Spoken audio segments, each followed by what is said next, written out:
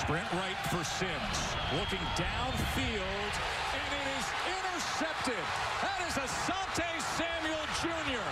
And he's got a blocker in front, but he's dragged down that time by Jack DeFoor, the senior lineman. But mistake number one for the freshman quarterback Sims. Asante. This is just something you learn as a young player. You have to negotiate defenders with your eyes, or else you'll see one of the best corners in all of college football make a play. Georgia Tech. Sims. That is intercepted. And once again, it's Asante Samuel Jr. Can you believe this? Two times Jeff Sims brings Georgia Tech down the field in his first half, and two times Asante Samuel Jr. picks him off. Backfield, he's waiting for it, picks it off like stealing candy from a baby as Seminoles take over. I got the fuse, you got the light.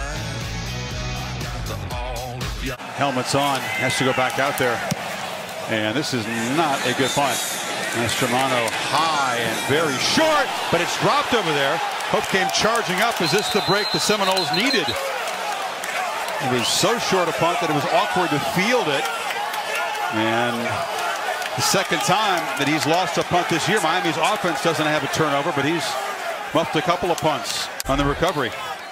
Yeah, there. Were, if it, you know, a, a mental error. He's out of control there, just trying to get underneath the ball, and he finally gets to it and actually was in position. He just wasn't able to secure it. And Asante Samuel, as you said, right there. The law, foul against Florida State. This a long pass down the seam, intercepted in the secondary near the 10-yard line.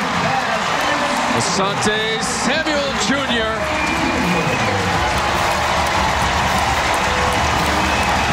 Wow. Interception number three on the season for Asante Samuel Jr. That was pretty easy. He had, he had an easy one against Georgia Tech. Jeff Sims. list for a big night tonight.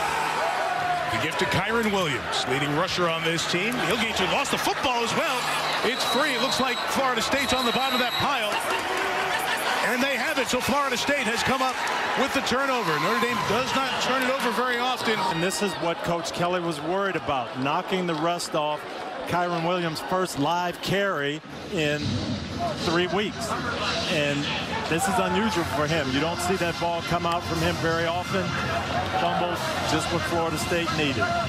As you look, you watch Williams' knee just coming down, with the ball coming out. So that's a clear fumble and recovery for the better players for Notre Dame's defense. Mastromanno kicking 48 yards and muffed. Lawrence Keys didn't catch it clean, and Florida State comes up with the recovery. It's been a couple of weeks since he's been back in state.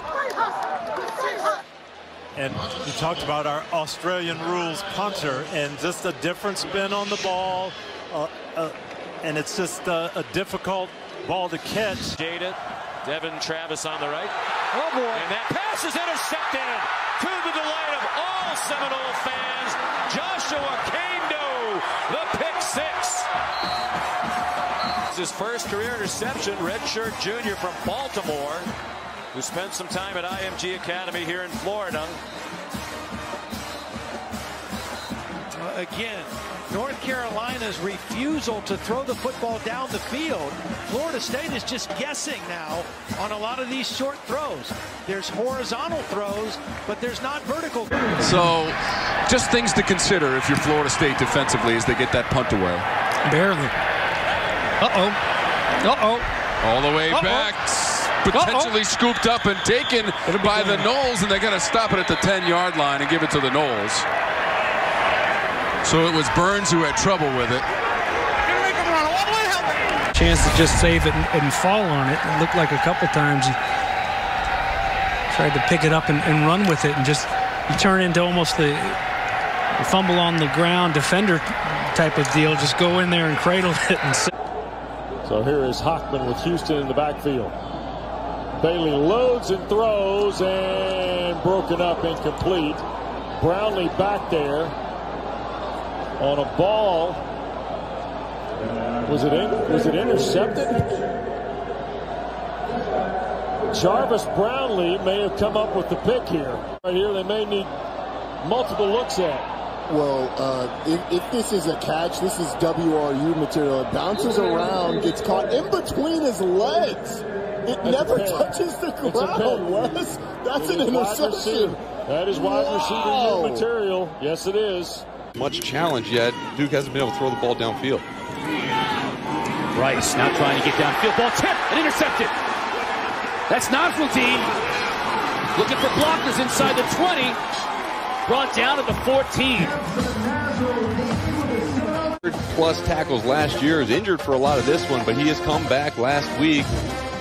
Really opportunistic off the tip ball, and that's been kind of the trend for Duke. You know, it's been tips, it's been overthrows, it's been you know timing routes off. Last thing I want is to get him hurt in this game. Pressure on the edge. Brice throws it up. Marwini almost makes the catch, but it's intercepted.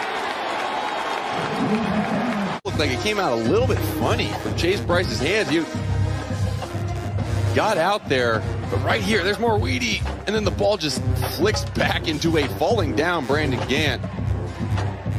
How about this guy, Brandon Gant, too? You know, he once a third string safety. He's playing now. He's also on all the kickoff teams, the punt teams. Unanswered makes him feel good right now. Florida State looks like they want to bring pressure. Bryce now, can he get it done with his legs? Gets hit hard at the marker. Ball comes out. Florida State recovered the fumble. Let's see how the officials spot it. It's a Yeah, fumble and recovered by the nose. down as well. Take a look at the end of this play. Rolling out to his left. Oh my goodness. Big number 44. Seven point game at the half. Seminoles have scored 14 unanswered here in the second. Diamont backpedaling, throws it up for grabs, and it's intercepted. Running into traffic.